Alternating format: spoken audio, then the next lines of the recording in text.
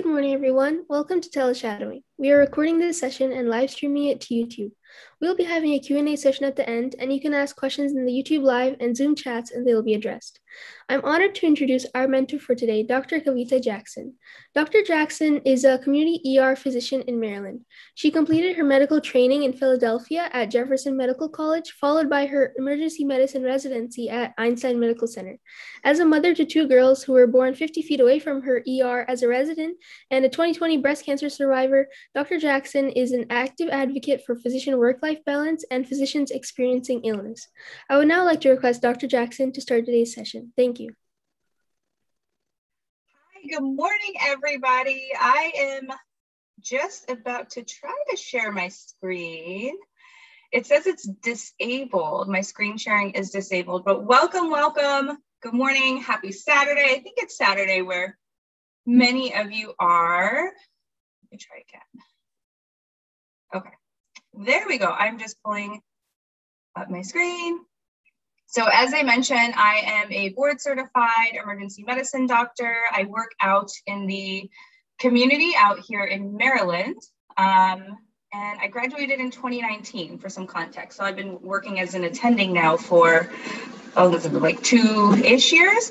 So let's get started. And this is my email. It'll be at the end as well as my Instagram handle. Um, so just to talk about training in general for emergency medicine physicians, this is some basic medicine plus the additional training you need for emergency medicine. So this isn't the only path, but this is what I did. I went to undergrad for four years and I took my pre-med requisites during undergraduate. Um, I happened to get a BS in psychology and that's when I took my MCAT. I was at that time deciding between doing like a psych PhD versus medical school. So I had I did um, the requirements for both of those. And then after my MCAT, it wasn't the best. I took my MCAT two times and I wanted to, I needed better grades before applying to medical school. So I did a post baccalaureate at the University of Pennsylvania. That's how I ended up moving to Philadelphia from Michigan. And I did that for two years. Then I got into medical school at Jefferson Medical College in Philadelphia, where I went for four years. And then you start taking your board exams. So there's step one of the exam, then there's step two, you have CK, which is um, clinical knowledge, and then CS, which is your clinical skills. And after medical school, you are a doctor, yay, officially you just don't actually really know how to practice anything. So you have a training license and then you go to residency. And this is where you specialize. So I did a four year emergency medicine program. They range from three years to four years. Um, and while you're an emergency medicine resident, you take the step three of your board exam. Once you are finished with residency, which I finished in 2019, then you are an attending emergency physician, and then you take written board exams and oral board exams, both of which I just passed earlier this year, and then you become board certified. You do start practicing as an attending physician before you pass all of your board exams, just because of the logistics and the timing um, of having to do all of that. And of course, with the pandemic, my exams were delayed because um, our they were, you know, um, you have to travel for your oral exams. Anyways, details that don't matter. Then on top of this, you can do a fellowship and additional training if you would like. That's not required in emergency medicine. Half the physicians, I'd say about half do a fellowship and about half do not. Um, a day or night, really, or weekend in the life of an ER doctor. So we do work, we do days, nights, weekends, holidays, you name it, we work it. We are shift workers, and I will tell you, no two shifts are the same. People try to understand my schedule so badly, even my family members. They don't understand because I can't explain it. They're like, what do you do you work on the weekend? And i'm like sometimes. They're like well do you work friday night this friday night yes but next friday night no. And in three weeks i don't know. We'll see. So when i get to a shift i show up i sign out which is transferring care of patients from the previous physician to myself. And then i start seeing my patients. And as you know in the er we work on a triage system. So it's it's not first come first serve.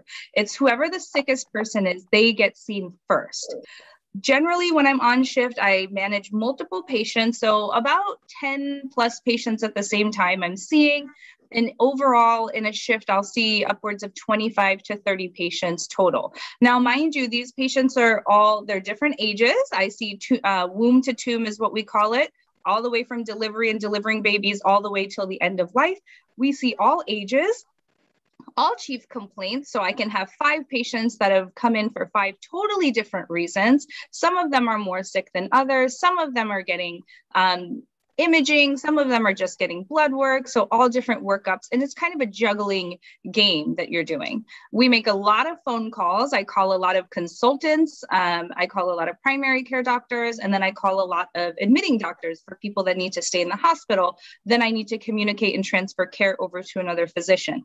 Patient advocacy, all physicians advocate for patients. I think it's a particularly large part of the emergency department because patients come in we are screening them for any sort of life threatening issue and anything that we get worried about, then we need to reach out and connect them with the right um, treatment or specialist. So we are doing a lot to advocate on behalf of our patients. No one likes getting a phone call from me because if I'm calling you, it's because I'm asking you to do something. I'm giving you work. No one wants work. And that's my job is to call you and be like, hey, this patient needs you and this is why they need you and advocate and push for my patient to get what I think is right and what is necessary for them. A lot of charting, yes, all of us chart. And then dispo. Dispo is disposition. That means what's next? Where does the patient go next? Does the patient need to be admitted to the hospital? Do they need to be transferred to see a specialist? Do they need to go home? What do they need to do next? We're constantly thinking about the next step because as we're seeing patients, we're trying to move them through the ER. You know that waiting room it never stops. People are continuing to come in. So you're always thinking about flow through the department. And at the end of my shift, I sign out and I peace out, as I say, because at the end of my shift, I go home and that's it. I don't do any work beyond once I leave the emergency department. And that is something I really like about my job. Oh, let me get to the next. Okay. So, what do we see? What the heck do we do in the emergency department? So, we see everything. So, any life or limb threatening emergency plus everything else. So, this is just a breakdown by systems of some of the things that we see in the ER. So, this is not what people present with. They present with chest pain, they present with shortness of breath, they present with fever. But these are the diagnoses that I'm considering in my differential, these are the diagnoses that I'm making. So you can see from trauma, cardiac, pulm, neuro, toxicity, psych, all of these are diagnoses that I have given. And I hate to say it's a short list. This is, but this is the short list. We really see and deal with anything, we do it. Now, schedule, we were talking about schedule. It's really hard to explain my schedule. I am a shift worker, but it is not a regular schedule. So, this is an example of, I think this was the pre pandemic, I think January of last year. So, this is just one month, and every month is going to be different. You might notice some of them say um, and I work in the community. So I work at two different facilities. Um, sometimes I'm at one location, sometimes I'm at another location. The hours in one location, the shifts in that hospital are different than how the shifts are in the other hospital. And I work for a group, I work for USACS. It's an ER physician owned group, which is amazing, beautiful thing. I work an average of 120 hours a month, which does not sound like a lot. In residency, I worked about 100 hours a week, 100 to 120 a week, and now I work that in a month. But when you take into account the schedule, like if I'm working an overnight shift, let's say Friday night, 8 a 8 p.m. to 6 a.m. Usually I don't actually leave work at 6 a.m. I'll work probably three extra hours into 9 a.m. And then my Saturday is gone. You know, my next day is kind of gone because I'm just sleeping, I'm recovering. You know, if I work a couple nights in a row, it takes me a few days to recover. So a lot of my time outside the ER is just kind of downtime recovering from work. So 120 hours is not, it doesn't sound like a lot, but when you account the way the schedule is, the flipping and the flopping, it can be a lot in my group, um, to maintain full time status, we have to work a minimum of 108 hours, which would be lovely. But as you know, we have the pandemic, we are very short staffed. That's not something we're able to do right now. Um, and I work an average of two to four nights a month.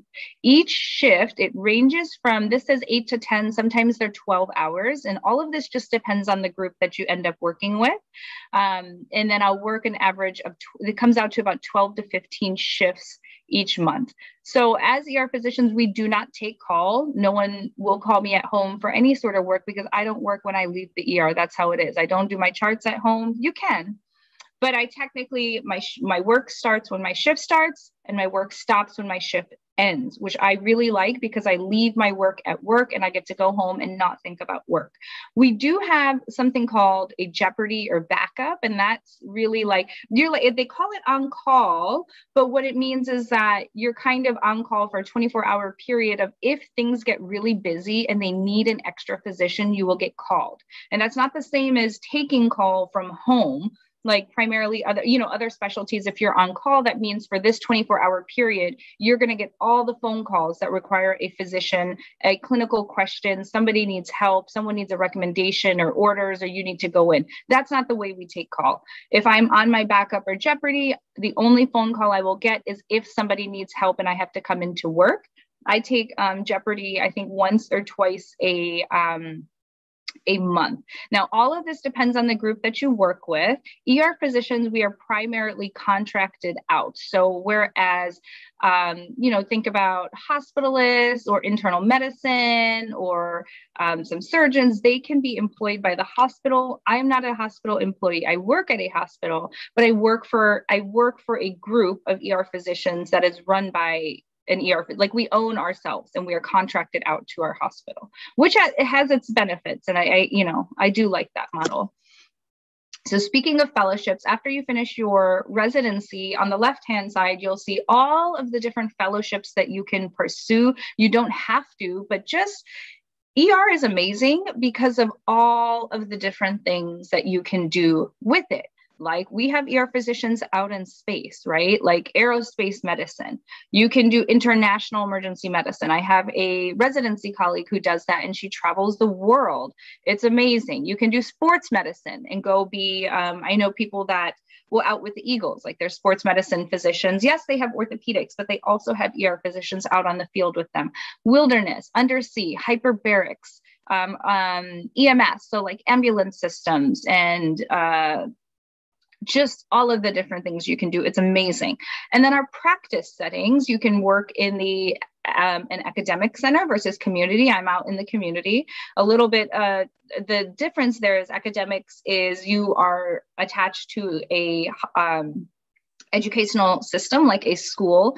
So you have a lot of ongoing research, you have a lot of trainees, you do a lot of teaching, you have a lot of residents there that are training and learning how to do the work and your job is to oversee them. You also have a lot of specialists um, that you can consult within the hospital like a lot of special specialists like not everywhere like if when you go out into the community you are doing all of the work because you don't have trainees. It's just me. And then if i need help i have some specialists i can call but i don't have the super in-depth like i'm not I do have neurosurgery, but depending on where you are in the community, you don't have neurosurgery, you don't have OBGYN, you're delivering all of the babies, especially if you're very rural, you know, you don't have a lot of those specialties and resources. So you can pick, you know, there's a variety of practice settings. You can be based in a hospital like uh, I am, you can be in a freestanding emergency department, which is literally a emergency department. And if anybody needs um, further assistance or like a hospital, they need to be transferred out. We can work in urgent care centers. You can work in a trauma center versus a non-trauma center. You can work somewhere where you're seeing pediatrics. So as a uh, my training, I am trained for both pediatrics and adults. So I see everybody. Some people only see pediatrics, some people only see adults. In my hospital, we have peds, specifically peds emergency medicine physicians that work alongside us, but they don't have 24 7 coverage. So if they're not there, I will see the kids.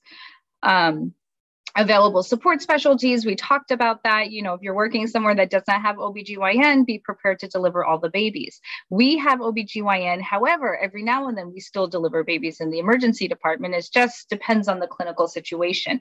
Urban versus rural, you're going to see different types of patients. You're going to be dealing with different um, sort of illnesses and pathologies and have different support around you. The way we get paid, you can have a salary or RVU base. So salary is where like you have a fixed salary for the year, no matter how much you work, no matter what you do or don't do, you're going to get paid that salary. RVU is a little based on the work that you're putting out. So everything that you do that you document gets coded. And essentially, the more work or the more patients you see, the more you get paid. Um, now that we have advanced practice providers, those are APPs, um, you think about coverage. Where I work, we have both physicians and APPs, which are like mid level providers, our nurse practitioners, our physician assistants. So they, the way my system works, it's beautiful. The physicians can focus on the most critically ill patients and spend our time there where our training is most useful. And then our mid levels can see some of the lesser acuity things and we oversee everything that they're doing. But I think it's a beautiful division of labor labor. It works very well where I am, and our mid levels are amazing. Um, some places have no mid levels, and that's fine. It's just the variety of places you can work. Locum tenens is kind of like a traveling physician. You will get paid a crap ton of money um, to go work where physicians are needed the most. I just got a phone call yesterday asking me to travel for locum tenens, and just for my lifestyle, that does not work. If I could, I would because you'll make a lot of money. Um, going to work to the places that most critically need a physician and they don't have one. And honestly, airplanes, all right, let's be real. If you're on an airplane, first of all, this is like most physicians' worst nightmare when you're on an airplane and they're like, oh my gosh, is there is there a doctor on board, right? It hasn't happened to me yet. But I'm just saying, if you're on an airplane and you passed out, the person you want, it's me because that's my jam. That's what I do. like I'm going to be the most useful person to you. So we are physicians everywhere and anywhere. How much money do we make? So this is the 2020 Medscape Emergency Medicine Physician Compensation Report. We fall right in the middle with an average annual salary of about $357,000. I don't make this. I work out in Maryland. I'm here in the Northeast area. This is very regional. If you go down to the south towards Texas, yeah, you'll be starting out about this. Like as a brand new attending, you'll be starting out somewhere like this. As you come up into the Northeast, for some reason, we like to bust our butts working and not get paid as much for it. That's just how it works out here. Um, our trends are closer down to maybe 200. So it's very um, geographical and kind of also matters. Um, generally, the, the longer you're working, your salary should go up, but that's not necessarily true. I'll tell you, in my group, we all make the same amount of money, um, male or female, and regardless of the years that we've been working. The longer you work there, there are some additional benefits, but the um, amount of money you're earning, we earn the same. So the pros to emergency medicine is it is um, when you see that schedule of 120 hours a, a, a, month, despite the flipping and the flopping, there's a lot of flexibility. Um, I can kind of build my schedule. So I, I will not have a regular schedule, but I can make I can trade shifts with my colleagues, and I do this all the time. I just got my October schedule, and I'm changing, you know, sh- um, trading shifts with my colleagues, and we're very nice about it, and we help each other out. It's amazing. Like if I wanted to have a week free to go on vacation, I don't take vacation. What I do is trade my shifts out, and I work my shifts around one week and pull out that one week so I can go do whatever it is that I want to do. And when I'm not at work, I, I do have a lot of downtime. So a lot of ER physicians are entrepreneurial people. I didn't know I was, but I am. I'm opening opening a cancer coaching business next year. I've started obtaining lots of other different training, trying to get into passive income sources. I'm a writer, I get paid for my writing. Um, so I do a lot of things outside of my job, which is amazing. That's not what you have to be thinking about up front, but just know that you have the flexibility to do that. You don't have to do anything. You can just go be traveling the world or, you know, reading books or just sleeping a lot. That's another thing that I do a lot. You have a lot of flexibility outside of your work schedule to pursue other ventures. I also have two kids, so this is amazing for me. I get to do all of the parenting things that I want to. I get to go to all of the field trips. I get to do all of those kind of things that I was worried about missing out as as a physician mom is not being able to go do things with my kids, but I get to do that. I just went on a field trip. I mean, now that COVID's opening up, you know, field trips are starting and stuff. So yeah, I just moved my work schedule around. I requested that day off and I was able to go. I worked the days around it and it was great. We, uh, another pro, we do a lot of aggressive things, like some of the most exciting things you see on TV. I hate to reference that, but that's the stuff we're doing. That's not the reason to go into the field. But what I like about the aggressive interventions is people come in in extremis, people come in very ill. We can do some aggressive interventions and see immediate results. So people coming in like sweating, oh my gosh, my heart, they their heart's beating like 200 beats a minute. It's a, you know, they're in ventricular tachycardia. I can push them um, antiarrhythmics. I can cardiovert them, which is shock if they need. Bam. They are now back in a normal sinus rhythm, heart rate of 70, and they feel good. And you're like, you know, in that instant, you have the ability to make that sort of impact. And it's really nice. I prefer that to outpatient care where, you know, someone has high blood pressure, you give them blood pressure medicine, you're like, okay, see you in four weeks we'll check your blood pressure. And in four weeks, it's not better. So you titrate the meds. And no, no, no, no, no. I I like the aggressive intervention, the immediate results, and seeing that impact. We see a wide range of clinical pathology, as you saw from that list of the different diagnoses we make we see a wide range of things. So ER physicians are often called the jack of all trades.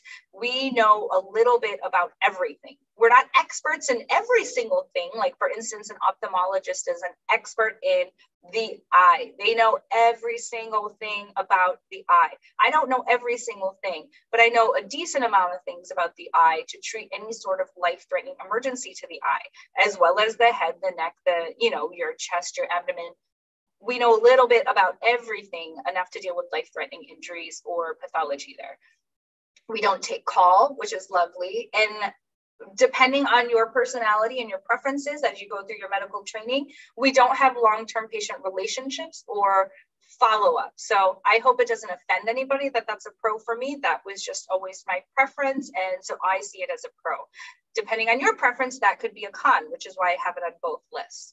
Some of the cons that may be evident at this point is we work in a very chaotic and unpredictable work environment. I think some people are getting a little glimpse into that with the pandemic of kind of what we're dealing with, and that's a that's normal for us. I mean, pandemic is additional stress, but um, that's kind of how our life our, our clinical life is sleep is extremely disruptive as you can imagine because we're never working a regular schedule we're flipping from days to nights one day I'm working at 7 a.m., one day I'm working at 8 p.m., the next day I'm working at 2 p.m. It's just all over the place. Um, we miss out on a lot of weekends and holidays and important events. So I try to make the events that I can, but generally speaking, I pick my holidays. Like I usually will have Christmas off. I don't care about New Year's, so I will always work New Year's. I try to get Thanksgiving and Christmas off because those mean the most to me. Easter, I'll work it, you know, just whatever it is. Um, burnout is a real problem for us. It's it's a very high. It can be a high stress because you're constantly high acuity. Brain is working at 110 miles an hour or 110 percent constantly. You're very focused at work. So when I leave work, my mind is just it's like jello. Because you just that's what's required to kind of keep up. So we can burn out a lot because you're just doing a lot of high acuity high stress work. Um, and then a con for you if whether you like um, the long-term patient relationships or follow-ups or not. I will say sometimes with follow-ups so we'll get a really critically ill patient. I had the other day. Um, you stabilize them you admit them and then you never really find out what happens to them. So sometimes I don't like that I lose follow up, but I will save my patients on a list and I'll go look them up the next day, like, oh, hey, what happened? Or like, I talked to the ICU doctor, like, hey, remember that patient I admitted, you know, with all this crazy stuff? What ended up happening? Like, what did you find out about them? How did it go? You know, and then you'll find out, like, oh, they did good, they went home, or like, oh, no, this other stuff happened and they passed away. You know, sometimes you don't get the closure of the loop of once people are stabilized and you move them out of your department. Where did they go and what happened? But there's ways to find out. So emergency medicine is right for you. Now don't get offended with this analogy, but somewhere we have we have this like loose understanding that if you can understand what an ADHD type personality might be like, that you're a good for fit for emergency medicine. We all have some subclinical or maybe undiagnosed or diagnosed. Someone told my parents when I was a child that I have ADHD, so it's probably true and it makes sense that I fit in the emergency department. Um, we have some level of ADHD. We don't sit for very long. We have our hands in a lot of different things and we're always multitasking. So, as I mentioned, we're jacks of all trades. We know a little bit about a lot. We have a lot of interest. For me, trying to pick one organ system for a specialty, I couldn't because it was just boring's not the right word, but it was just too much. Like, you know, like, oh, learn every single thing about the heart, but like, what about all this other stuff that's going on? Like, I don't think I could focus that much on one organ system. We are multitasking, you know, we're taking care of multiple different patients, as I said, different ages, different acuities, different workups, and you got to kind of keep that all in track. You have to stay calm under pressure and chaos because you could be looking at somebody's rash and then you have a cardiac arrest rolling in and then you have somebody who's having a stroke and it all just hits at the same time and you need to kind of you know pivot change of plans and kind of uh, keep moving and just adjust your plan and do the best that you can. We have a lot of intense experiences. I'll say some very happy happy, like joyfully intense experiences, as well as a lot of really sad and bad um, emotional experiences. And, you know, you I think the worst is going from a cardiac arrest to, you know, then your other patients are pissed off as to why you were in this room for 40 minutes and you were like, you have no idea what I was dealing with. And then your patient doesn't make it. Then you have to talk to the family and the medical examiner and do the death certificate and then go talk to some other patients that are really mad there for a minor complaint like a toothache. Um, and they don't understand, right? They don't understand what you were doing, and you can't tell them because of HIPAA, and that's totally fine, right? Patient privacy. Um, that that that's probably my most frustrating clinical experiences in the ER. We get down and dirty, okay? I have been covered in any any in every bodily fluid you can think of. I've been doused in it. My scrubs have been doused in it get ready to get like knees deep into your patients. You will do, or we do, whatever it takes to save our patients and whatever is best for them. So if you're you don't like blood, you don't like poop. I don't like poop, okay?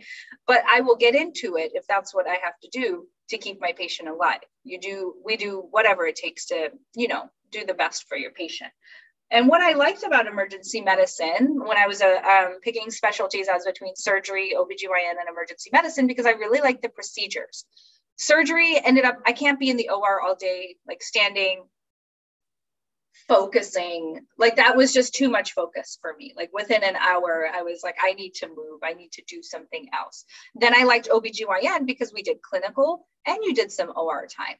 Well, in the ER, I can move a lot and I do a lot of procedures just at bedside without going into the operating room, without having to do the whole sterile procedure there's nothing wrong with the sterile procedure. It's just that in the emergency department, when it's emergent, we just don't have time for that generally. So you'll just throw some betadine down and get cutting.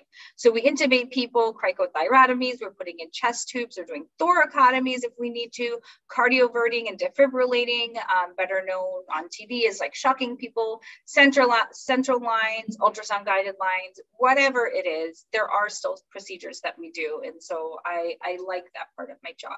And it's right for someone who wants flexibility, because as I mentioned with your schedule, you can have a lot of flexibility and tailor your life in a way that you can still have all of these amazing experiences, whatever it is that you want to pursue outside of your medicine career. You are not just an ER doctor. You don't have to be just an ER doctor. You can be an ER doctor and whatever else it is that you want to do. And then the flexibility through fellowships as well. You don't have to be an ER doctor working in a hospital, right? That is one pathway. There's so many other things that you can do with emergency medicine. Then you're qualified to actually do a lot of things outside of um, the medicine field as it is. So you may not want to be a traditional, I mean, I'm saying traditional just because many of us are like physicians in a hospital. You don't have to do that. You can go be in space for, you know, that's what you want to do. So I can pause for a couple questions and that if we have some, and then I would love to do, I have two um, case studies. So let me know. I just pull up the chat. I think that we will ask our remainder of questions. Some students have DM'd the questions, so we can ask them at the end of the session after our case studies. Perfect. So this is our first case. So don't mind my documentation. I'm going to try to break it down. If anything doesn't make sense, just raise your hand. I mean, I won't see it, but I'm sure they will tell me or just stop, put it in the chat box. So the case, um, this is kind of how you'll learn once you get to medical school, you got a good basis of your, um, you know, anatomy, physiology, then you start doing case presentations because that's what it is in real life, right? Like patients present and you get this whole long story, you get an exam, you get vital signs, you make a differential, and then you try to decide how to figure out what they have. And this is very, um, this is just, you know, all of medical education mostly is case based. So, first, you have a 70 year old male who's presenting with sharp, intermittent right flank pain, intermittent meaning coming and going. So, in his right flank, he has no history of anything like this before. Nothing makes it better or worse, and he has not taken any medications for these symptoms review of systems. So the first part, that's your um, HPI, history of presenting illness. Then you get ROS, which is your review of systems. He has no chest pain, no shortness of breath, no nausea, vomiting, no urinary symptoms like blood in his urine, burning with his urine. He has no fevers. He has no chills. Past medical history, he has a history of hypertension, hyperlipidemia, um, coronary artery disease, and diabetes mellitus. Past surgical, none. Social history, he is a tobacco smoker. He denies alcohol or illicit drug use. He's married and a retired teacher. Medications that he takes, he takes aspirin, he takes lisinopril and metformin, a uh, metformin, excuse me, and he has no known drug allergies. So this is how, so in medical school, you'll learn, you'll get your HPI, you'll do your vitals and physical exam, and then come up with, come up with a differential. In the ER, I find it easier. I am already formulating a differential just based on that information that I've gotten. Before I've even examined the patient, I'm already thinking about this. And the way I was taught, which I think is the most helpful, um, think about the three things that can kill the patient now. That is my priority. That is literally my job to find those things or identify those things if they're happening. So that's why I prioritize those. What are the three things I'm most worried about that with this situation could be life threatening to the patient? And then three other things that may be more likely, but are less lethal. So here's what I would love throw it in the chat box or unmute yourself. I want to hear with a 70 year old guy who's got right flank pain coming and going, he's got a history of high blood pressure, high cholesterol, diabetes, he's a tobacco smoker. What are three things this guy could have that are going to kill him? Acute appendicitis, yes. Kidney stones, yep. So these I'm going to put into our less lethal diagnoses. Definitely good differential. Aortic aneurysm, 100%. That goes in the three that can kill you now list. And there's no wrong answer here, okay? Even as now and as you go into medical, kidney failure, yes. Um, just know there could never be a wrong answer, okay? Anything is possible, even if it, it doesn't fit 100%. Remember, patients don't present, they don't read the textbook, okay? I've had some presentations, you know, that turn into something totally else. And you're like, how did we get from here to there? But you, you need to keep your mind open. Colitis, yeah.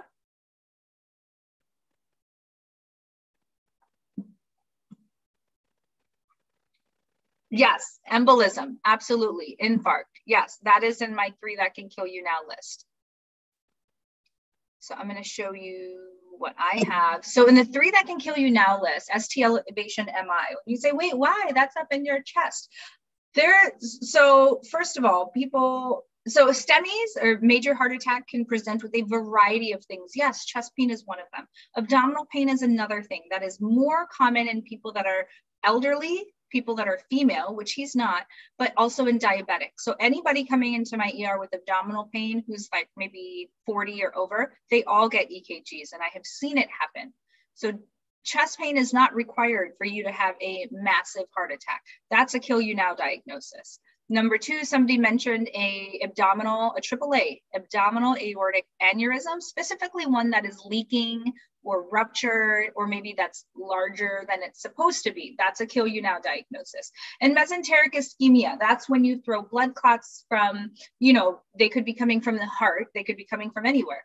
Throw blood clots off into the circulation into your stomach it blocks the blood flow to your stomach and so you start to have pain because as you as your tissues don't get blood flow they start to necrose and they start to die and that is very painful. So someone said embolism and i would put that into this mesenteric ischemia. Those three things are things that are going to kill you now if i don't identify them and intervene immediately.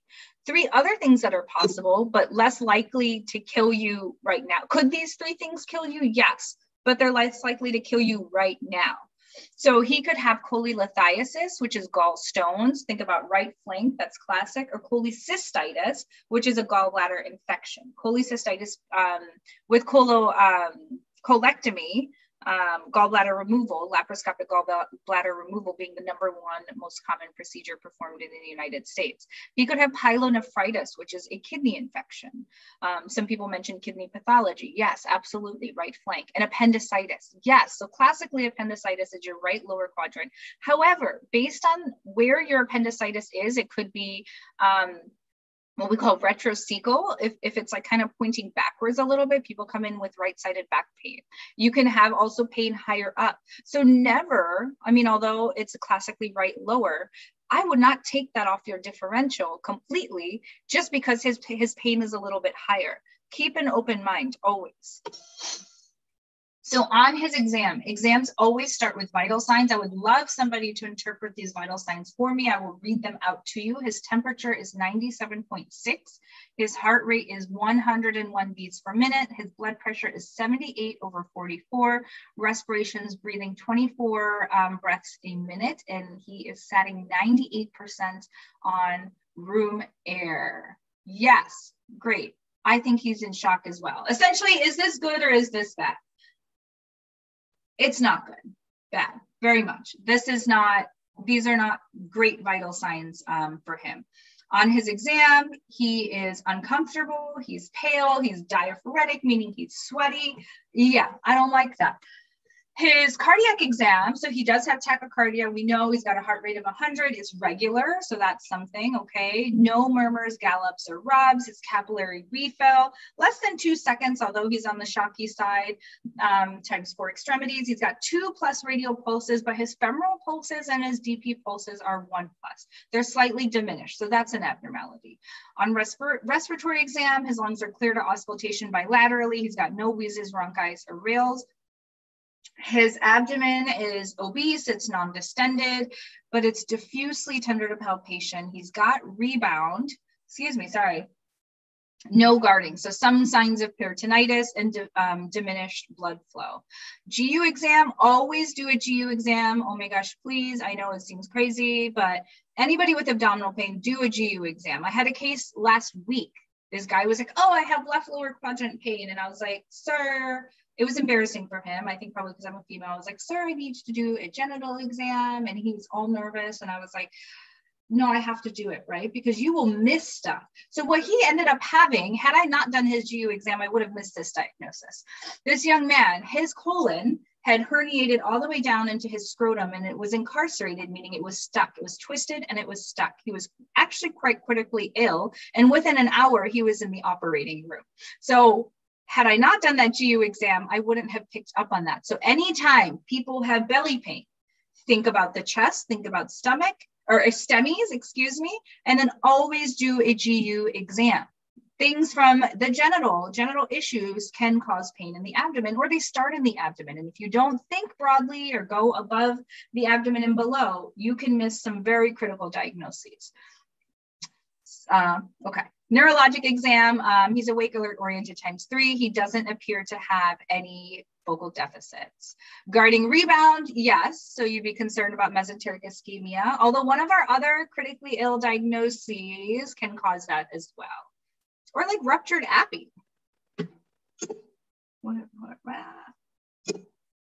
So what would you like to do for this person?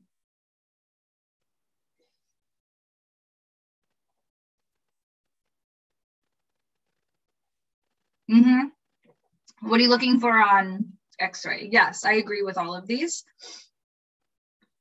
Ultrasound, CAT scan, yes. So I'm gonna start with some basics and then we will get to imaging. Yes, EKG, yes. CBC, CMP, yes, absolutely. So basics in ER, IV, get them on the O2, get them on the monitor, get them on that cardiac monitor. EKG, yes, because we're talking about STEMI. That's like the first thing I want because if it's a STEMI, like nothing else matters. I know exactly where he's going. I'm going to call the cardiologist. He's going to be in the cath lab in five minutes. And done. You do not want to miss that. That's why people get EKGs from the waiting room. We get EKGs on everybody because if we see a STEMI, boom, we're taking care of it. Everything else stops and you deal with the STEMI. The lab, so yes, so I want to complete um, blood count. You know, I've been using these acronyms for so long, I don't even remember what some of them stand for, but I want a CBC, a comprehensive metabolic. Let's get the lipase. I want coags typing cross because I'm considering this as an OR type patient. You know, I want to get some pre op labs for him. Um, a urinalysis, troponin, maybe, sure. Let's get some fluids running and let's get some blood products as needed. So the thing, and, and then imaging, right? Do we want to go to CAT scan? Or POCUS is point of care ultrasound. And the only reason I bring this up, CAT scan is amazing, okay? We also call it the tunnel of death. You never send an unstable patient to the CAT scan because what they will do there is go into cardiac arrest. My most critically ill patients, although I want that CAT scan, I don't want them out of my sight. So also if they're going to go to CAT scan, I'm going to go with them. If I can't stabilize them enough for them to go to, you know, leave my sight, I'm going with them to CAT scan. It has happened. it has happened to me. Um, people I have gone with. You just know you're like, oh my gosh, I need that CAT scan to get this diagnosis so I can call the surgeon. But they are so critically ill no, no, no, no, no. And certainly not an MRI. Our MRIs are in the basement. Absolutely not. If my patient is critically ill, they're just not going. So that's where ultrasound is a beautiful thing. I ultrasound, point of care ultrasound, meaning the bedside. I have my ultrasound machine. I will roll in.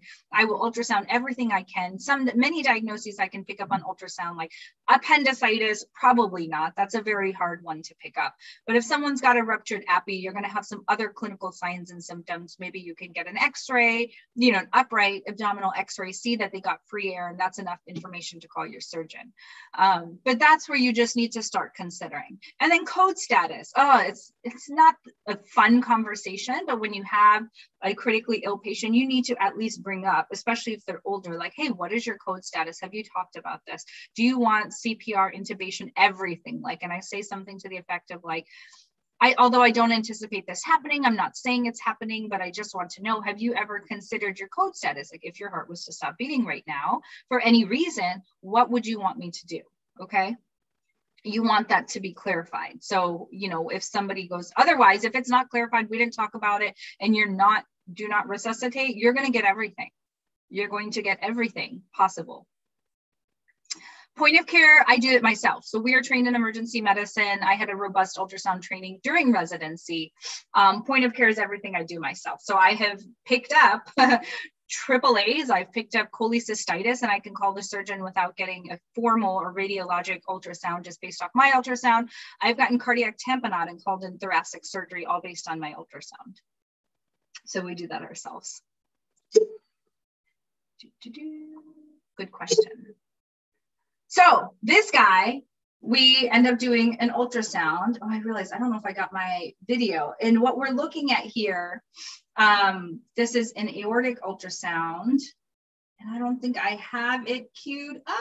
I am so sorry. I wanted to show you this image, but this um, video. But essentially, this is an ultrasound looking at his aorta. So this image does not help as much. This is just a cyst here. But if we were going to do an abdominal ultrasound, primarily to look at this guy's aorta, because I'm worried about a AAA, ignore the cyst. This is an aorta. This is the spine. You're going to track it from his epigastrium all the way down to his umbilicus.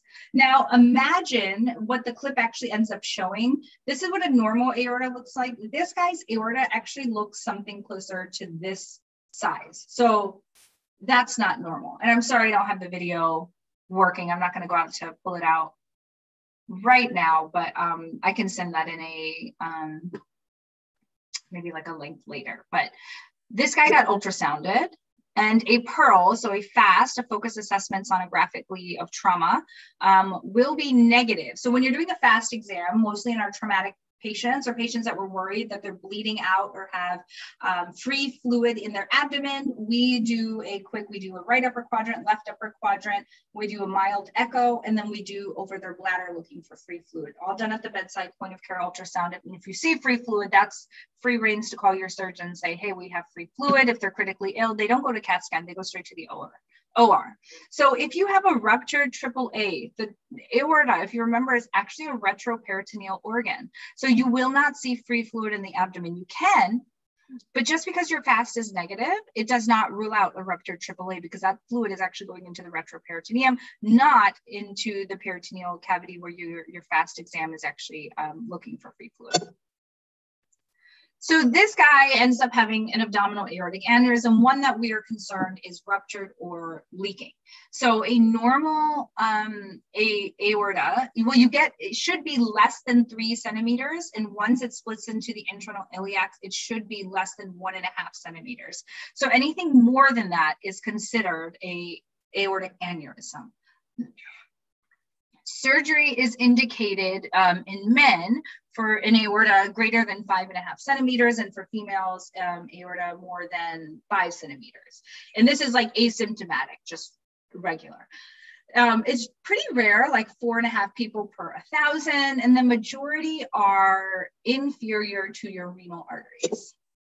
So risk factors, many of which our patient actually had, atherosclerosis, smoking, high blood pressure, high cholesterol, being male, higher age, and then some of the um, genetic um, diseases that cause, like connective tissue disorders, so Marfan syndrome, um, Ehlers-Danlos, and there is a screening system in place for this. There's a one time ultrasound for any man over the age of 65 who has ever smoked. They are supposed to be getting an abdominal ultrasound just to screen them for um, an aneurysm. So the classic triad, right? This is your like textbook exam. Is somebody's that you're going to have somebody like a 75 year old smoker with heart disease, diabetes, and cholesterol or whatever, coming in with this triad of back pain, hypotension, and a pulsatile abdominal mass. So I'll tell you in real life, only maybe half of the patients actually present with this. And it's so hard to identify this sometimes, even though it's a critically ill, you know, this is a very important diagnosis, a third of people are misdiagnosed initially, actually. And people can come in with all sorts of things. They can come in with abdominal pain. They can come in with syncope, which is passing out. So remember, you need to always have, you know, think broadly and have an eye, high index of suspicion. So the imaging, the gold standard, meaning the best imaging for that you can get is a CT angiography of the abdomen pelvis. So you want that arterial phase of contrast of the abdomen and pelvis. And that I put stable there because that is a stable patient, right? We talked, we had this conversation already about who is okay to go to CAT scan and who is not. An unstable patient, I'll throw my ultrasound onto there and I can measure, you know, I can tell if they've got free fluid, although I remember, not having free fluid does not rule out a AAA.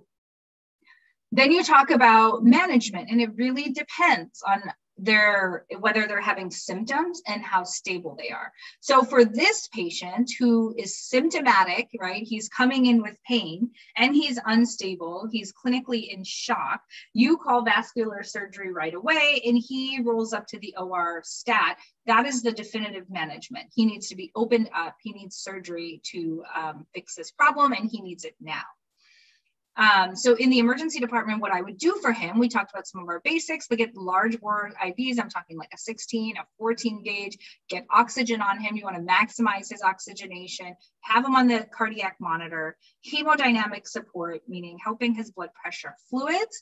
And if you're concerned he's bleeding out into his um, belly, the best thing you can do for him is give him blood, support him with blood. There is something called permissive hypotension. This is getting into like the next level um, discussion, but like where patients are allowed to be a little hypotense. We don't need to be super aggressive and bring his blood pressure up to 140 because if you think about it pathophysiologically, if you start putting him on pressors and bringing his blood pressure to like 120 to like normal, you're actually also increasing the pressure in the aorta that you is are concerned is leaking and it's actually going to worsen your leak or worsen their bleed.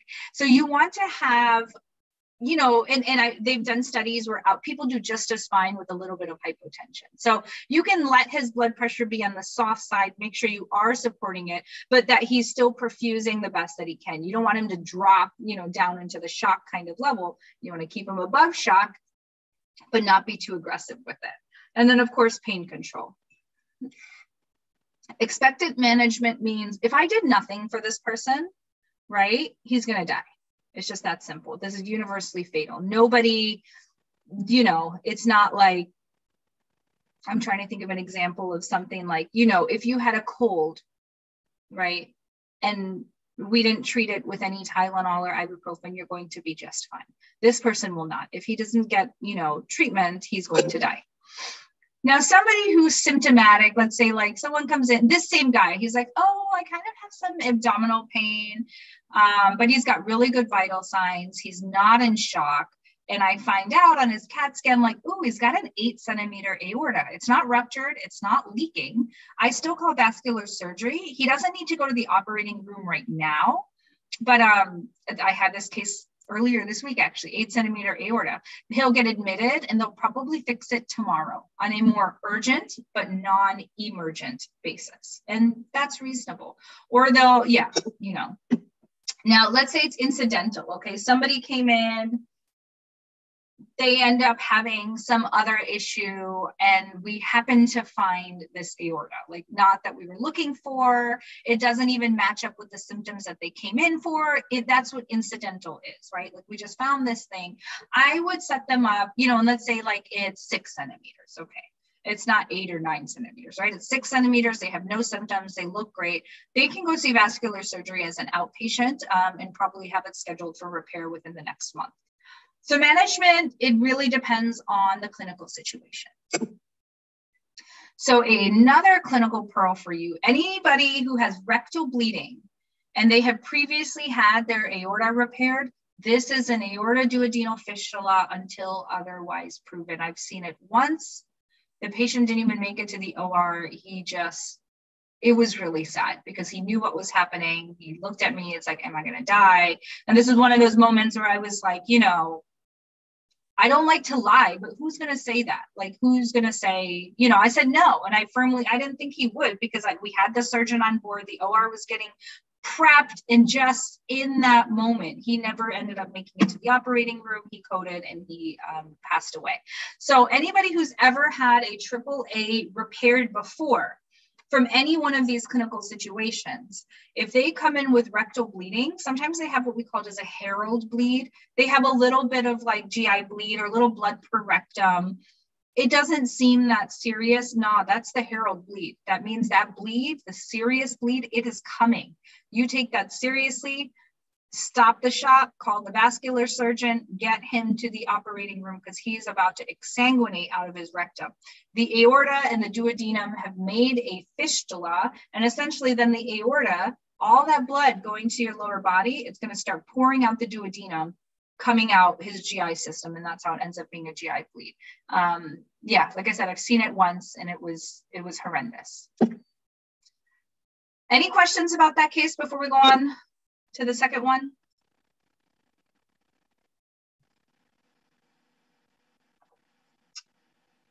I think we're good. Okay.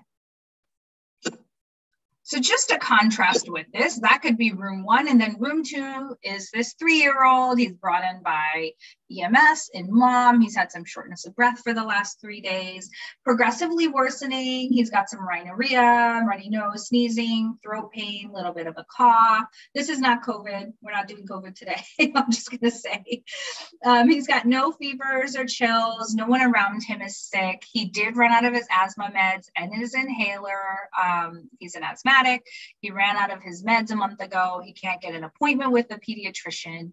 His vaccines are up to date, including his flu vaccine. Remember, we're getting into flu season, so go get your vaccines.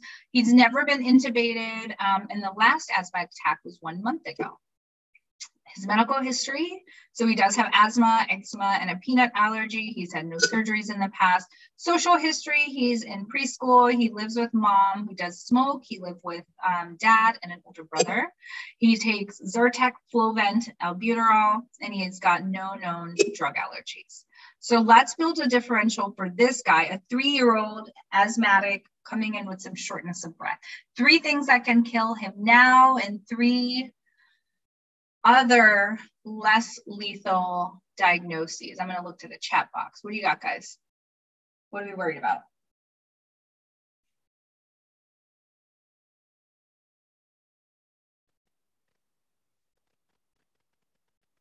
Yep, pleural effusion.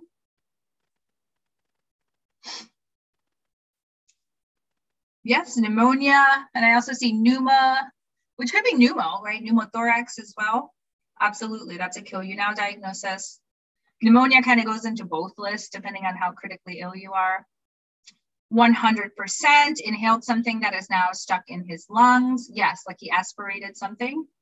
Absolutely, especially for a kid. Foreign body, yes, yes. These are awesome. I'm going to show you mine. So that's ex asthma exacerbation. Yes, most people do okay, but asthma exacerbation is, yes, Yep. Number two, anaphylaxis. Who I'm seeing, Fizza, you're absolutely right. Accidentally took peanuts. Anaphylaxis. That's a kill you now diagnosis. And somebody else mentioned foreign body. So you guys hit the money on that one. Those are the kill you now diagnosis that I'm thinking of. Um, and then three other less lethal diagnoses. I think you guys covered um, this. Maybe he's got an upper respiratory infection. Maybe he's got pneumonia, child abuse. I mean, child abuse could be on either one, but with kids, this is always, always, always on my mind. We don't let it slip because the minute we stop thinking about it is the minute we miss it. And this is the opportunity we have, especially in children or the elderly, the people that cannot advocate for themselves or seek help independently. It is up to us as providers to be looking out for things like this. And I have found it in some very unsuspecting situations. Um, and it was just all because it was on my mind. And this is, you know, it is our responsibility to always be looking for this, not to be morbid, just that that is something you don't want to miss. And technically, that could be on the kill you side now as well. Good differential. So for this guy, he has the exact same vital signs as the other man, our 70 year old. I want to know is this good or bad? So his temperature is 97.6, heart rate is 101, blood pressure 78 over 44, respiration is 24, and he is satting 24%. Good or bad?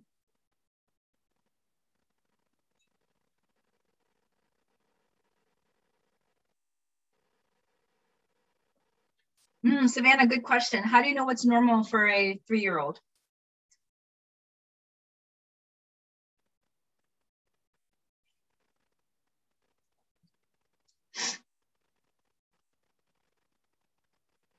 Yep.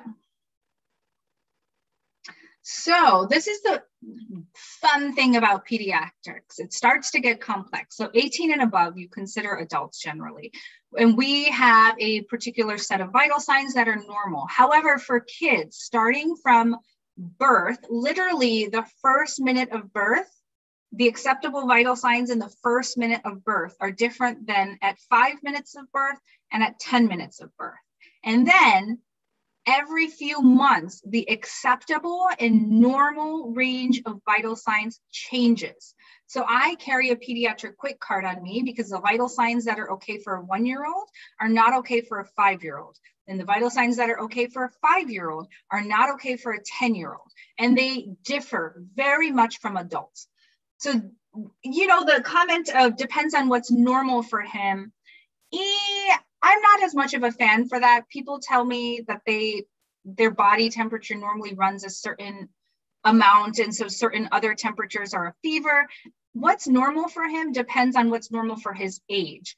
These vital signs are actually 100% normal for a 3-year-old.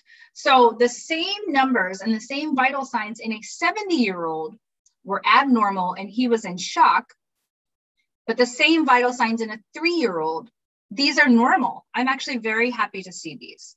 Most of all, he's not hypoxic. He's not breathing too fast. This is a normal respiration. His blood pressure is actually perfect for a three year old. It's very good. And heart rate in children is higher. So, very good. And he's not febrile. So, That's why I carry a pediatric quick card, and things get much more complicated with pediatrics because their vital signs are constantly changing. Once they start to get about 16, 18, then you can kind of apply the more adult vital signs to them. So he's good here. In general, he's in no acute distress. His um, HENT exam, pupils are equally round and reactive to light and accommodation. He's got a little clear rhinorrhea, moist mucous membranes, a little bit of redness in the back of the throat. That's a mild pharyngeal erythema, but no exudates. You don't see any pus back there. His uvula is midline. Does anybody know why I'm saying this? So in documentation, a pearl for documentation, you you may have heard this if you didn't write it down if you didn't document it it didn't happen okay so in our documentation you want to give pertinent positives like the things that are abnormal that you notice as well as the pertinent negatives the things that you didn't see that matter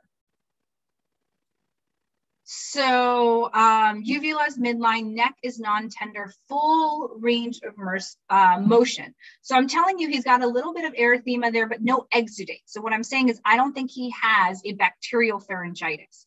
His uvula is midline. It, why would it not be midline?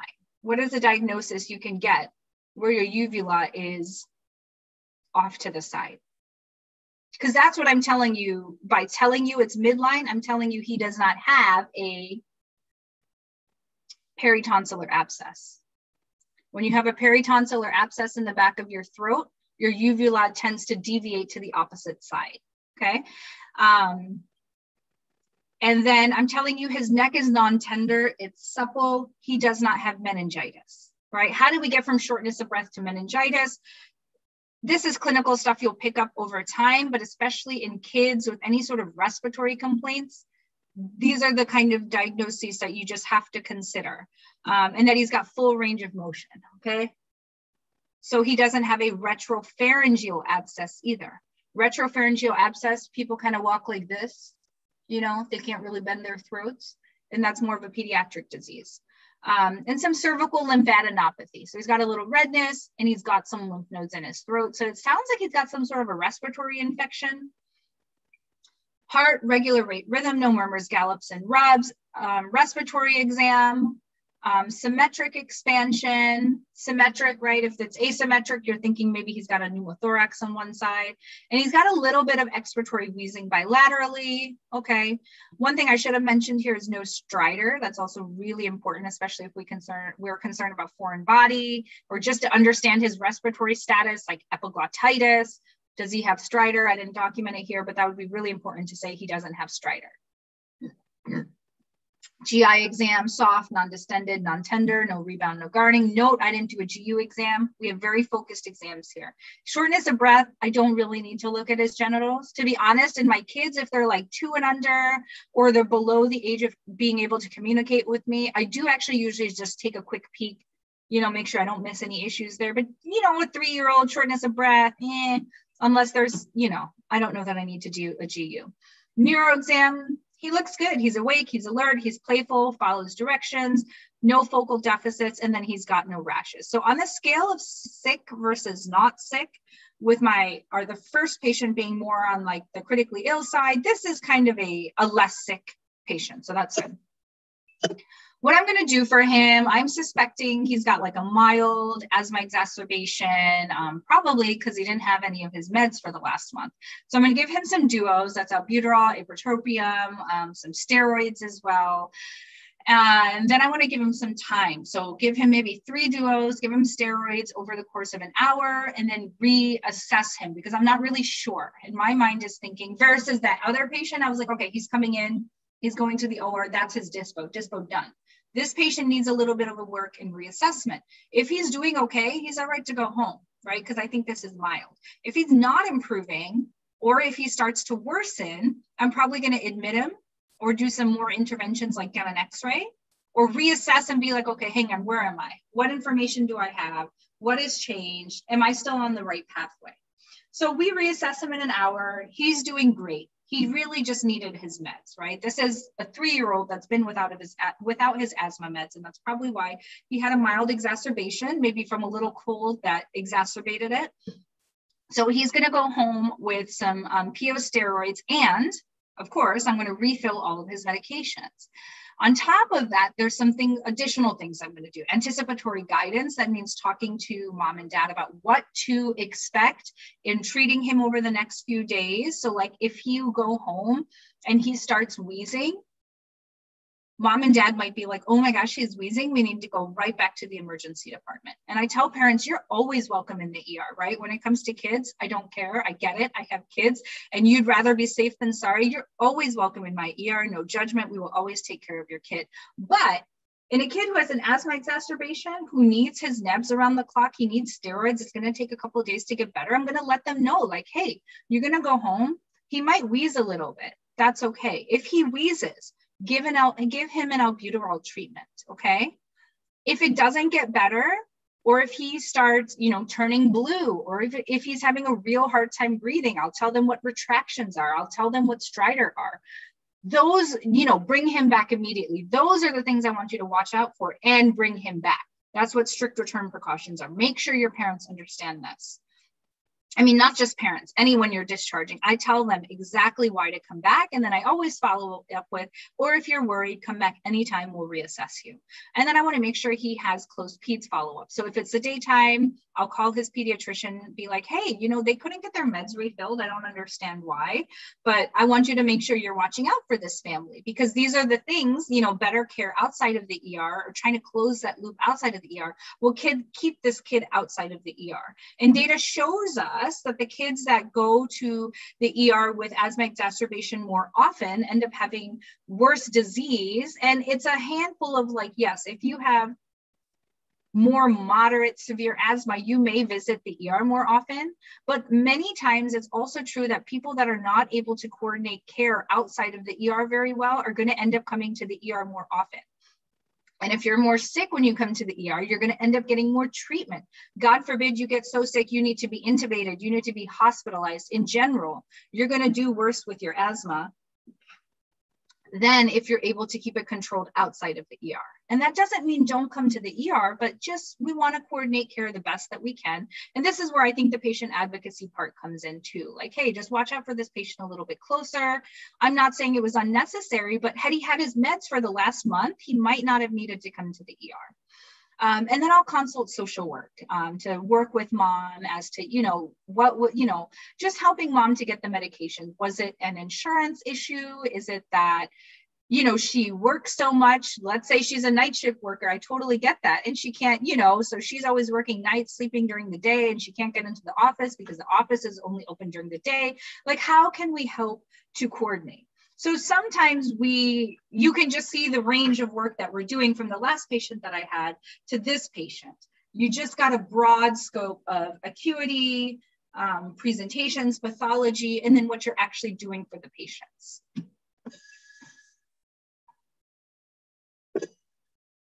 Oh, where'd I go? So pearls, um, I did not get an x-ray in this patient. I don't get an x-ray in all of my pediatric short of breaths, but the, here are the pearls. Here are the four F's of when you should get an x-ray in a pediatric asthma exacerbation. Someone you know has asthma, who presents like asthma, um, and you're pretty sure it's asthma. They don't all need chest x-rays. We don't need to radiate everybody for no reason. If you're gonna do it, this is why you would do it. If you're worried that there's a foreign body, okay, like, ooh, he's only got wheezes on the right side, but not the left side. Or like, you know, he was two years old. Mom said he was playing with his Legos and she went to go get some from, something from the kitchen. She came back and he was in respiratory distress, right? Foreign body. If he's got a fever and you're concerned about a pneumonia, okay, get the x-ray. If he fails to improve, so, you know, if I gave him his Duonebs, I gave him his steroids, I came back in an hour and he's doing worse, or he hasn't gotten better, I'm going to be like, oh, that's unusual, right? Because if it's asthma, he should have gotten better with the interventions that I did. If he didn't, I'd be like, okay, now let me, you know, now let me get an x ray. Let me go to the next step. And then if there's any sort of fracture or suspicion of trauma or abuse, um, get, get the x ray. So, you've seen the patient, you come out of that room, your HUC goes, you know, the nurses are like, great job, doctor, cool. We have a code rolling in in four minutes. Cards is on the phone waiting to talk to you about a patient they're sending in, and there's 22 patients in the waiting room. So let's go. So that's what it is a little glimpse into what I do in the ER every day or every however many days a month. Here are just some general pearls advice I have for you. Anybody pursuing a career in medicine as you go through your medical training, learn a proper exam. I hope somebody teaches you this. Don't let go of this. I still do this. Not everybody does this, but it drives me nuts. Undress the patient. Patients don't like taking their clothes off. They don't understand. They're here for toe pain, and I'm telling them to take all their clothes off. Maybe not toe pain, but yeah, even toe pain, because I'm going to examine that whole freaking leg. I want to feel your femoral pulses.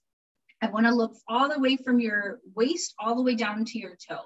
For them, it's just toe pain. For me, undress the patient. I want to see head to toe.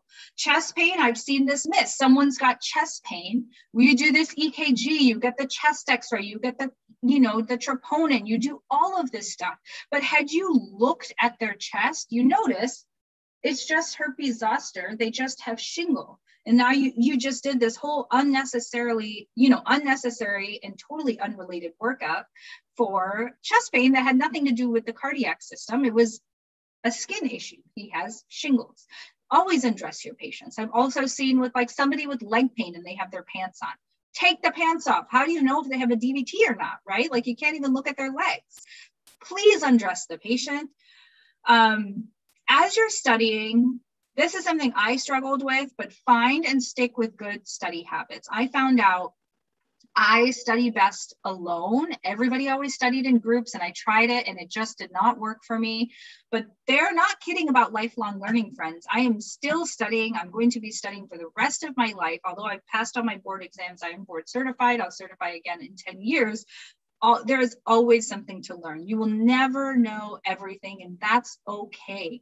The sooner you realize that, I think the more freeing it is because I would be so overwhelmed with the amount of things you need to know. I have my most useful clinical guides always in my pocket, ready to go um, to reference but I know how I study. It took me a while to come around to that. I mentioned I took my MCAT twice. I took post-bac classes to build up my GPA. And in that path, I found out what works for me, and that's the way I stick with it. Try different methods and just see what works for you. What works for you may not be what works for your friend next to you, and that's okay. You got to do what's best for you be honest with yourself about what you do and do not like as you go through your clinical rotations, as you're thinking about what specialty you want to pursue. Glamour and money do not always equal happiness. And if you're going to be in this pathway with this lifelong commitment to medicine, um, it's grueling, it is costly, it is taxing mentally and physically and financially. At the end of the day, you deserve to be happy in the work that you're doing. Fit medicine into your real life. It also took me probably until I was an attending to understand this. So, the sooner you can try to incorporate this, I think the better it is just for your life. I was just trying to be like, oh, I'm in medicine all the time, and then trying to do other things like fitting my life into medicine. No, it's the other way around. You are so much more than medicine, although you dedicate your life to this make sure you pay attention to the rest of your life, even if you miss holidays and important events. Medicine is a part of your life. You are always so much more than what you are doing and that you are studying, even when it doesn't feel like it. Just don't forget to take care of the other aspects of your life. Your own health, um, your own personal life, your the people you care about, and your interests and your hobbies. Keep up with that. As you know, I think we mentioned briefly. So I had breast cancer last year. I didn't talk about that much, but at the beginning of pan- the pandemic, March, the first week when the pandemic was announced, that's the same um, week I was diagnosed. So I've been out on medical disability. I was out for about thir- uh, 18 months. I went through chemo. I went through a couple surgeries. I've been back at work now for maybe three months. But if that wasn't a wake up call as to take care of yourself, I don't know what is. And I don't want anybody else to have to have that experience to understand that. So trust me when I say you come first. You cannot do your work, you can't do it adequately or appropriately without you being healthy and happy mentally and physically. So put yourself first. regarding finances, which um, physicians are in a very unique position financially speaking relating to some of the medical debt uh, excuse me student loans and student debt that we can accrue going through education as well as our lower pay compared to the jump you know massive jump in pay that we have as attendings the white coat investor oh it is so helpful traditional financial advice doesn't really apply to us because we're in a very unique financial situation. So read it. I think I didn't read it till residency. Read it in med school read it before med school. If you're a resident now, read it now. It's never too early or too late to read this book and kind of reference it um, as to how to get your finances in order. Hold your head up high, but not too high. Please, please be humble, be kind, and listen. Don't dare go to the nurse your first day out of medical school and say anything snarky like i am the doc just don't do that. I rely on the nurses and the best thing i ever did i'm sure people will give you this advice be really nice to your nurses. I think i went in and i was like hi i'm dr jackson. Like can you help me? Like ask them for their help. Oh my god game changer.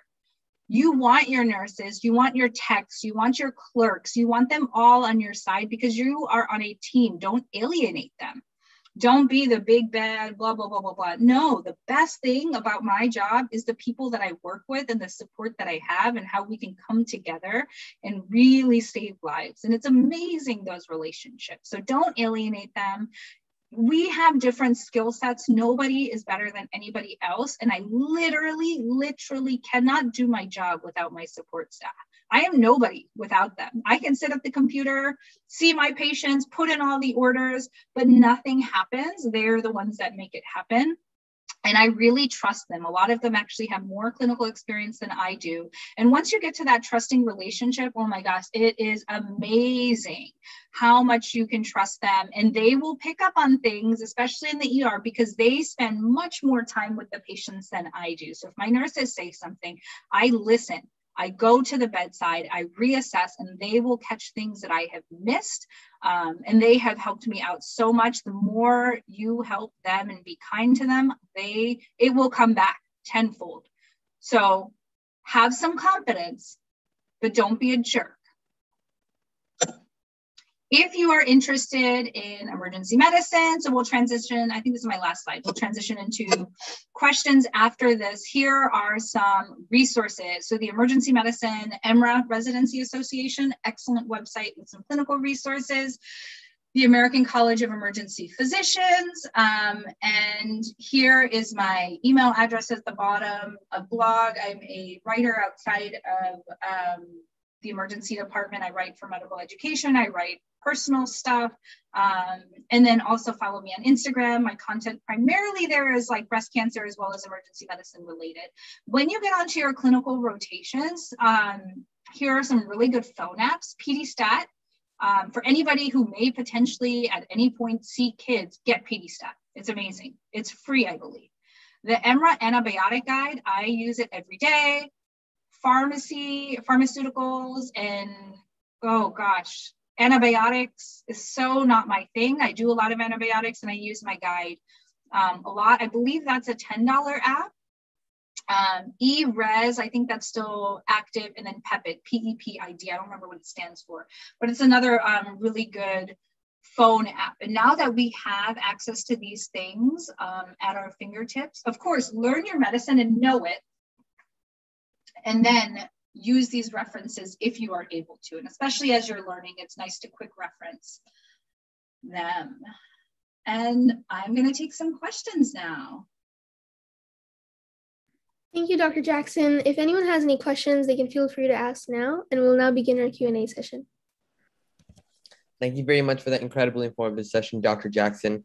My name is Hamza, and I'm attending a joint BSDO program in yes. University and Lake Erie College, uh, Lake Erie College of Osteopathic Medicine, both in Pennsylvania. Awesome. To start off our Q and A, what is the difference between shock trauma and emergency medicine? Yes. Okay. So, emergency medicine, you kind of got the flavor from me. I think like we staff the emergency departments, people come in with complaints of chest pain, whatever and we do this whole assessment. We do a certain amount of procedures. Now a trauma surgeon i think that may be what you're referring to as shock trauma. So shock trauma is a you know as you know in university of maryland it's in baltimore it's a training center. Shock trauma or trauma surgeons they are primarily surgeons. So they could go through a general surgery um, resident, you know, they go to medical school, then they go to a surgical residency, then they go to a trauma fellowship after that, and they primarily are doing surgical work. So they don't work in the emergency department. They are for us a consultant. They generally work in a trauma center. So my hospital is not a trauma center. We don't have trauma surgeons. I only have general surgeons so where I trained in Philadelphia, North Philadelphia, we work together in the emergency department, the trauma center. If we had a gunshot wound come in, you know, GSW to the um, chest, we will call a level one trauma alert.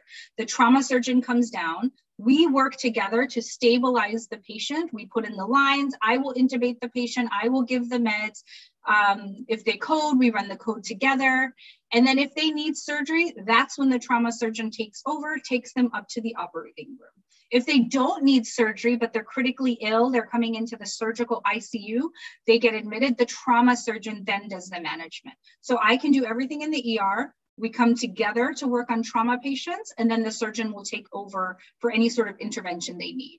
If it was just like a graze wound into the arm and the patient can go home, trauma surgeon says, okay, great, we don't need to intervene with them. I will take the patient back I, you know, will clean the wound, figure out the wound, prescribe them antibiotics, send them home, and then they'll see the surgeon um, in a week. So we come together to work on trauma patients, but they're primarily surgeons and we are primarily um, staffing the ER. I hope that clarifies. Yes, thank you. That answers the question. Our next question is How often are antimicrobial sutures used for laceration management? That's such a specific question. I've never used one. Oh, okay. Um, The next question we have: uh, What are some different types of sutures you use in the ER?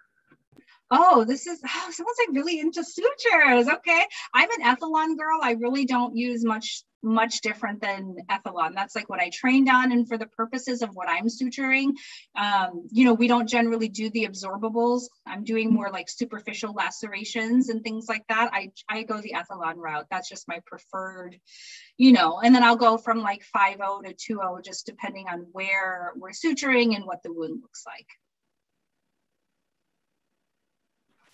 Thanks for that answer. I understand that many ER resident physicians perform ultrasounds on, the, on their own patients. Yes. There are there any advantages of taking ultrasound yourself over POCUS for investigations? So POCUS is, just to clarify, point of care ultrasound is me ultrasounding. That is ER physicians ultrasounding. It is a, it is included in our residency training now because um, we do it so often. So the advantages of me doing my POCUS versus getting a study from radiology is that it's quicker. I get my diagnosis and I get my answer, and my patient doesn't have to go anywhere. So I'll give you a clinical example. I had this um, patient, she had cancer, she had known pericardial effusion in the past, and she was there with um, shortness of breath and she was hypotense. So mm, I'm worried she had a cardiac um, tamponade, right? So all I did, wheeled my ultrasound in there, threw it on her heart, and I was like, okay, she's got cardiac tamponade. Five minutes later, I was on the phone with thoracic surgery and she went to the OR to get a pericardial window. So those are the benefits of she didn't have, I didn't, it was in the middle of the night too. So one, I didn't have to call in the ultrasound tech. Two, I didn't have to wait three hours for that study to be done. And that kind of mattered in an unstable patient. Um, so really time, I think is the biggest benefit there.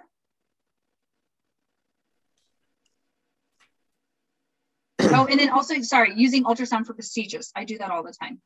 If I'm putting in lines, it's a very hypotense patient, you know, uh, and for rapid assessment, there's different things you know, like the FAST exam or the um, rush exam is for hypotense patients. I can look at their IVC, I can look at their heart, I can look at their aorta, I look for free fluid, kind of understand why they're hypotense and guide my treatment that way. And those exams actually radiology techs don't do. Those are just ER physician exams. Thank you. Our next question is a retroport, oh, my bad, retroperitoneal hemorrhage doesn't show up on fast scan. So how do you diagnose it? Yeah, so a retroperitoneal hemorrhage that would need to be on a CT. So for that example, like if this guy's AAA had ruptured, right? So let's say um, I did my fast exam, it's negative, and I'm like, okay, fine. I know the aorta is in the back. I'm not going to see free fluid. And he is too unstable. His blood pressure is too low. I'm worried he's going to code. I'm not sending him to the CAT scan. I can ultrasound him and I'll be like, oh, shoot, his aorta is seven centimeters. I'm going to call the vascular surgeon and be like, look, I got this 70 year old, multiple risk factors. He's got a seven centimeter aorta. Um, I'm worried he has a AAA. He's got pulse deficits, unstable for the CAT scan, and that then he'll likely go to the operating room just based on that information. All right, thank you for the example. Mm-hmm. Uh, next question is, what is the immediate prognosis of cardiac arrest patients who have been resuscitated? The immediate prognosis, like it all depends. I know that answer sucks, but it really all depends. If you're talking about like a 70, like this patient, our aorta patient, let's say it wasn't the aorta, but he had cardiac arrest, it was like pneumonia. Depending on their age, their comorbidities, what was their cardiac arrest rhythm? Was it like a shockable rhythm or a non shockable? How long were they in cardiac arrest? All of that matters. Older, if they were PEA, asystole, non-shockable rhythm, cardiac arrest for much longer, getting ROSC, they will do okay. The majority, I think the majority have some serious neurologic deficits and their longer term prognosis, they're kind of in some more, I hate to use vegetable, but more vegetative states with a lot of neurologic deficits versus talking about a 40 year old in VFib arrest, like a shockable rhythm who got shocked and was in cardiac arrest for five minutes, they're going to do a lot better. Immediate prognosis, generally, most people don't wake up right away. So it's more like the long term prognosis that we care about. But younger person, fewer comorbidities, shorter cardiac arrest time, shockable rhythm, they're going to do better. Thanks for that answer. Um, our next question is How do emergency medicine physicians treat conditions or complications if there isn't a known cause the cause are idiopathic? Yeah, so I never label. So idiopathic is not the same as um, unknown cause. Idiopathic means that we caused it. Someone explained this to me in med school. It's like idiopathic, like we're the idiots, we caused it, right? So if somebody got an EGD and they got perforated from the EGD, that's an idiopathic perf. It was a complication of the procedure. I, oh, I'm so sorry. Actually, that is iatrogenic. Idiopathic meaning idiots, we don't know how it happened. Okay, I get what you're saying. Iatrogenic meaning we caused it. See, I got to remind myself of this stuff all the time. Um, so idiopathic, that happens. A lot of people that I send home, I will tell them like, I don't know what is causing your symptoms, but in the ER, my my purpose being evaluating you for a life-threatening disease, you have to set expectations. My job is not to find a diagnosis. My job is to make sure that you don't have a life-threatening diagnosis. So sometimes people come to the ER, they're like, "Oh, I have belly pain. Like, what is it? What is it?" And I'm like, "Well, you got a CAT scan. It's not this. It's not this. It's not this. It's not this. I can't tell you what it is, but I don't find any abnormalities right now. You're stable enough to go home." Here's the reasons to come back. See your primary care doctor for additional testing because my testing is not comprehensive. My testing is very focused for life threatening etiologies. And if it's not one of those, I'm less worried. You go home and continue down the outpatient pathway. And that's exactly what I tell patients. I don't want them to think like, oh, I went to the ER, they told me it was nothing, they couldn't find a cause. It doesn't mean it's nothing, just I have not identified a life threatening problem. So it needs additional evaluation. All right, got it. Thank you for that answer. Uh, do you do you feel like do you feel like you normally have enough time to counsel patients even during busy days in the ER? I never have enough time, but I do it because it's the right thing to do. They'll never feel it. It will never feel like I have enough time, but it's it's so important. Um, and having that discussion with your patients, making sure they understand it's everything. So all right. Thank you very much for answering the questions that I've asked so far. I'll now be passing it over to Amna to ask the remainder of our questions. Thank you, Hamza. Um, how do, our next question is: How do you stay up to date on new research for novel treatments of COVID nineteen or other cases you regularly see in the ER? Yeah, so I question I'm going to show you behind me. I have a variety of medical journals. I'm subscribed to a lot of foam, free open access, free open access medicine. I have a lot of recess, resources and um, CME. So you have CME, um, continuing medical education requirements. I think I do 50 credits a year.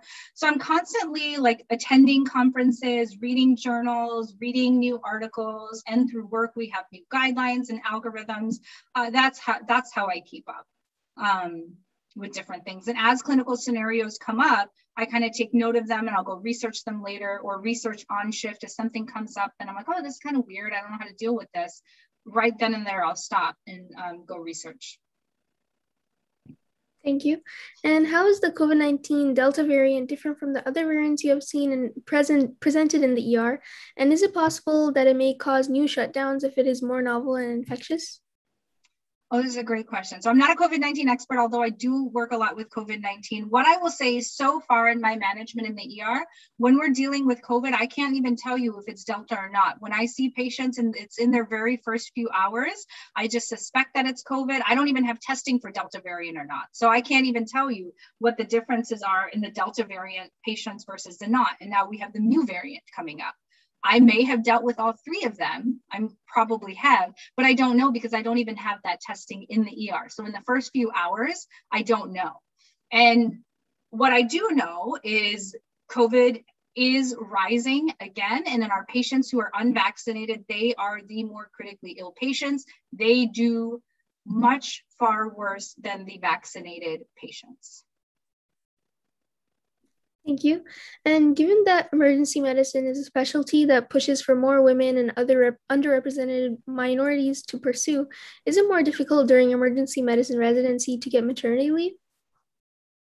Oh, no, not at all. So you, I am the right person for this because I took two maternity leaves in my emergency residency.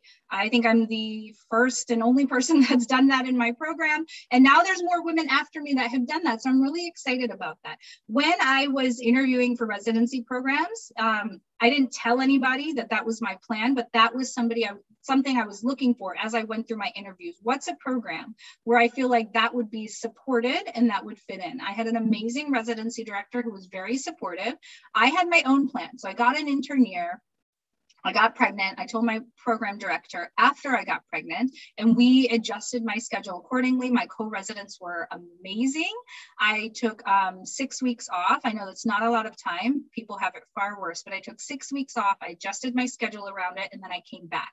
And then a year later, I was pregnant again. I told her after I got pregnant, we adjusted my schedule again. My co residents were amazing. I took all of my rotations. That time, I took um, eight weeks off. So, total of 14 weeks off I took in residency to have both of my daughters. Now, I delayed my graduation by those 14 weeks. That might matter to some people. For me, I really didn't care. Instead of graduating on July 1st, I graduated on August 14th of 2019. I found a job just the same. I personally had no issues. What it, was it challenging?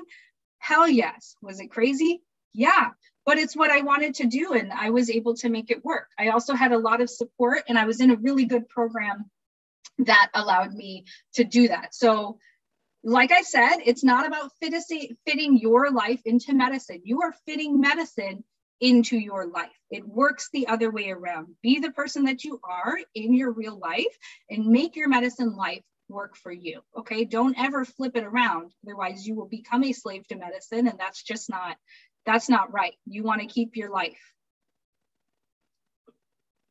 Thank you. And what do you think was the hardest part of your journey to get where you are? And what do you think we should look out for? Honestly, this, I don't know if this will resonate with you. So everything was challenging, right? Like you get through one thing, you get through your MCAT and you're like, oh my gosh, I got to med school, I made it. And then I was like, oh my God, med school is so hard. uh, and then I'm like, okay, I got to residency, I made it. And then, you know, obviously I had my kids and just residency. I was like, oh my gosh, residency is challenging. And then I was like, all right, I'm an attending, I made it. Attending life is so challenging. And obviously, then I was diagnosed with breast cancer and my life flipped upside down. I think the hardest time for me actually was the pre medical time because you are just working so hard as much as you think you know what you're getting into not to scare you but you really don't know what you're getting into unless you're further until you further get into it, which is totally fine. But I was discouraged. I was so discouraged. I was like working my butt off, but really discouraged. I didn't do well with my MCAT. My classes weren't going well. And I had a really challenging time because I wanted to be a physician. I wanted to do clinical medicine and I wanted to help people. And I didn't understand why the heck I needed organic chemistry and PChem and like learning about the oxygen molecules and what the heck that had to do with what I actually do on a daily basis. Um, I still don't know that it helped me in any way, but you have to get through those classes um, in order to get to where you are now. So it was a confusing and challenging time. So I'd say pre medical time for me was really hard. At least once you get to med school, you can start seeing patients, start talking about what feels like clinical medicine and like what you're actually trying um, to do. So it's challenging, but it gets more interesting and you get to do what you were trying to do. Thank you. And how do you advocate for physicians who have also become patients with any medical conditions themselves? Yeah, so I do. I'm starting actually a cancer coaching business next year, but I do, I coach and mentor people mostly through social media or however we may connect i help them um, with their disability paperwork just navigating that work life balancing balance and prioritizing yourself um, and we also talk a lot about identity. It's very challenging, I think, for us as purveyors of health and caretakers when we're in a position that we're a patient. It's a very difficult identity to understand and grapple with. So I do some coaching, mentoring um, around that aspect and advocacy for people to prioritize themselves in their lives and kind of some of the conversations that we are having um, right now. And I can support people in that way. Thank you. And sort of related to that topic, do you believe there needs to be more mental health resources dedicated for physicians due to the daily stress inducing work environment, especially now given the pandemic? 100%. And people are working on this. I know. Um, yes, 100%. Absolutely. Because we give everything for our patients, and sometimes to the point that you know you give all of yourself to the point that it takes a toll on you. But we don't stop because that's just the mindset we have right? Like you you know but we it, it's hard to learn the point of like to take care of yourself and prioritize yourself first um, and to make sure that you're doing that because without you functioning optimally you will not care for your patients optimally. Um, so it actually does nobody good if you're being harmed in the process. So yeah 100%. This is something that is coming to attention and it's more in light now in, med- in medicine and medical education. And there's a lot of work to be done there. Thank you. As you mentioned, a few fellowships within emergency medicine. Did you pursue an emergency medicine fellowship to specialize further? No, I did not. I'm not. Um, I didn't go to fellowship. I came straight out of um, residency. I'm community emergency medicine, so I don't have any um, specialties beyond that. I wanted to Got get it. paid right away. And what are what are some resources and advice you have for students currently preparing for the MCAT or USMLEs? Yes. Okay. So I actually did the um, I can't remember it was Kaplan or I can't remember one of the review courses. And this is just me personally now. I did the review course. I attended all the classes, did all the work. I took my first MCAT I think it's scored differently now. So I probably essentially failed it, was what my score was. Then I went to my post-bac classes. I figured out how to study myself, which was I like to just study by myself. I read, I highlight the crap out of everything and practice questions, practice questions, practice questions, practice questions. As you go to med school, practice questions, practice questions, practice questions. Every single board exam, the best thing you can do take practice questions. That was the most helpful thing for me. And then take practice tests for the MCAT. You will have access or you can get access to practice tests. I would take one a week in the few months leading up to my MCAT. And it's not just taking the test. I spent four times the amount that I took the test. I spent four, you know, it took me two hours to take the test. I would end up spending eight hours going back and looking at every single question if I got it right, okay, fine, made sure I understood. If I got it wrong, what did I get wrong? Where was the error in my thought process? What can you learn? That is the most useful thing you can do. So don't just look at your score and be like, oh, okay. No, go look at what you got wrong, and that's how you will learn. So the next time a question comes up like that, you know exactly what to do. Thank you. That's a really effective study plan. How do you manage the very random hours and ensure you feel energized and well rested for multiple night shifts? Coffee. I do. Um, I have a bizarre sleep schedule. I actually schedule my sleep in. So sometimes, you know, it's just about scheduling and sleep. I have caffeine and I try to take care of myself outside. So sleeping, exercise, time with my kids, like, you know, things that get my endorphins running, get my, you know, serotonin running, that kind of stuff. So if I, for instance, if I'm going into a night shift, um, let's say whatever day it is, I will wake up 7:30, take my kids to school, and then I will try to sleep all day while they're in school. I just get right back into my bed, sleep for a couple more hours. Um, or if I have stuff to do, I'll just stay awake and sleep the next day and make sure I schedule in sleep that day. Um, so it's it's I literally just schedule sleep on my calendar, sleep when I can, sleep often, um, and caffeine. I'm not saying that's the best advice. That's just how I manage. Thank you. And for our last question, how do you manage your work-life balance? Oh my gosh, that's like a whole one hour session in and of itself. Um, Google Calendar is my best friend. Um, what I do, I have my work schedule. As soon as I get my work schedule, I go to make my childcare arrangements between my nanny and my family and their school. I get everything on a Google Calendar that everybody can see. Then I'll schedule in my sleep then I will schedule in my, um, you know, the uh, the work that I do outside of my work, whether it's writing or coaching or what, you know, my exercise. I do a lot of stuff on my calendar. Then I try to make sure, like at least once a month, I'm doing something social. It ends up being more than once a month, honestly. Like that I'm going out to see my friends, that I'm going out of the house, you know, COVID safe, but I'm doing something social. Make sure I'm exercising, but scheduling is, is the way I make it work. Um, and I schedule in downtime as well. Like last night was a downtime for me. It's like the first time, I mean, since August, and we're almost halfway into September, I had an evening to myself and I purposely scheduled nothing. I just sat on my couch in a horizontal position for as long as possible as part of my recovery. Um, so, yeah, just Google Calendar. Thank you so much for answering our questions, Dr. Jackson. Those are all of our questions for today. Awesome. Thank you guys so much. Reach out, Instagram, email me. I'm happy to talk, mentor, review, whatever you would like. And best of luck to everybody. Bye. Hi, thank you very much, Dr. Jackson. We really appreciate you taking the time to answer all of our questions. It was a greatly informative learning session for all of us. And I'd love everyone to please give a warm thank you to Dr. Jackson in the chat box for this incredibly informative session. Thank you. Thank you, guys. Bye.